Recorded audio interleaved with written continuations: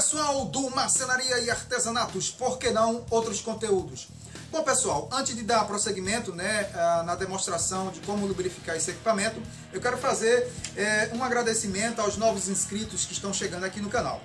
Quero agradecer a chegada de Luciana Armênia, Adriano Mendes, Daniel Siebra, Alex Cardoso, Elizabeth Monteiro, Cristiano Monteiro, Omar Lutado, Uderal Tuber, Edson Silvestre e Patrícia Gava. Bom, a pedido de Elder Sandin, ele pergunta como lubrificar as partes mecânicas da SJ401. Eu vou mostrar é, como fazer isso. Para você que tem um equipamento desse e adquiriu na loja, você tem um manual e é só seguir as instruções do manual. É, para aquele que conseguiu de segunda mão ou ganhou de alguém já usada é, e não tem o um manual, aqui no canal tem uma playlist de ferramentas e equipamentos. Então lá tem vídeos falando desse equipamento aqui, onde eu mostro em detalhes as funções e, e o funcionamento dessa, dessa SJ401, ok?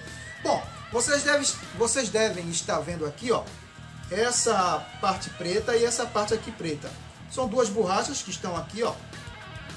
E é por aqui, é, nesse lado e no outro lado, que vai ser feita a lubrificação é, do eixo e dos rolamentos desse equipamento ok? O fabricante pede para usar o óleo Saé 20. É, eu usei desse fabricante aqui, da foto. Não estou fazendo propaganda, tive dificuldade em encontrar esse, esse óleo em algumas lojas que vendem óleo para lubrificação e encontrei dessa marca, ok? É, você pode usar de outra marca, mas seguindo também a referência que o fabricante manda. Bom, como a garrafa que eu comprei é de um litro né, e, e é muito grande, eu utilizei essa, essa, esse vasilhame aqui que tem um, um biquinho e facilita é, a lubrificação. Então, esse equipamento ele está provocando um ruído porque é, se gastou-se né, a lubrificação, é, os rolamentos estão ressecos e ele produz um ruído muito chato. Agora eu vou ligar o equipamento antes de colocar o óleo nos rolamentos e vocês vão sentir, é, ouvir esse ruído que é muito chato. Beleza? Vamos lá. Bom pessoal, agora eu vou mostrar para vocês é, a máquina ligada e o ruído que ela produz quando é, as engrenagens estão ressecas. Eu tinha falado é, rolamentos, mas são as engrenagens, ok? Vamos lá.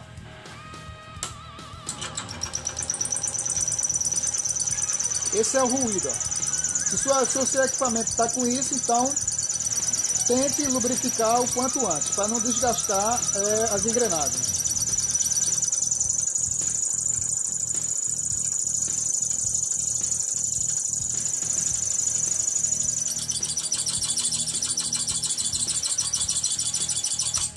Pronto, agora eu vou fazer a lubrificação, vou inclinar esse equipamento é, num ângulo de 45 graus ou 35 graus para que é, o óleo penetre com, com precisão dentro das engrenagens. Vamos lá que eu vou mostrar essa parte.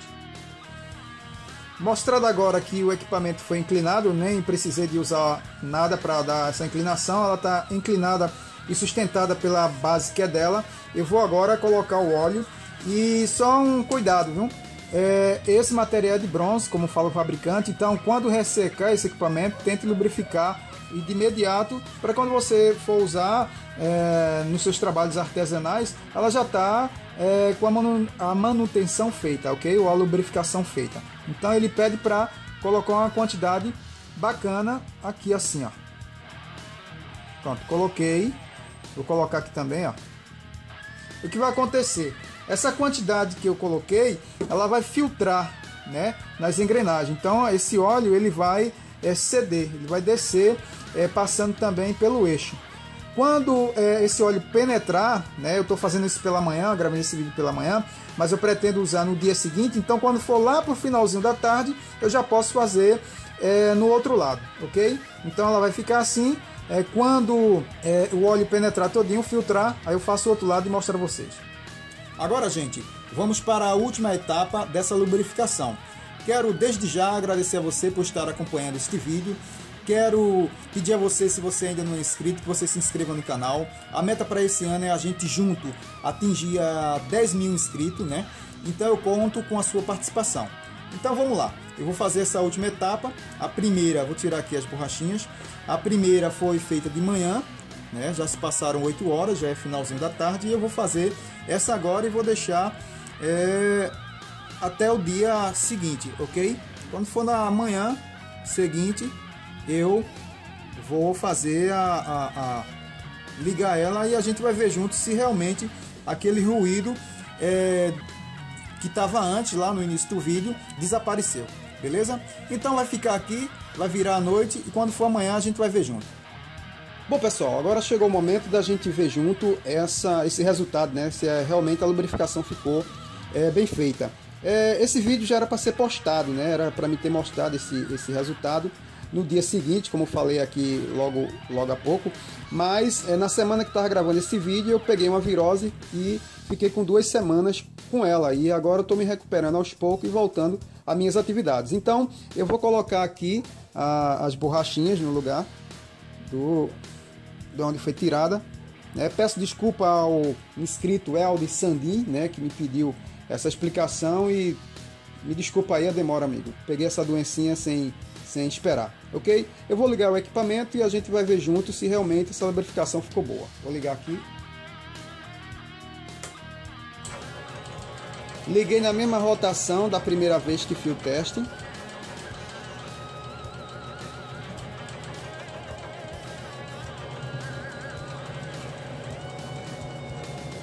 Você vê que aquele ruído não tem mais. Ó. Se você comparar aí, logo lá no início do vídeo, você vê que não tem mais aquele ruído que tinha.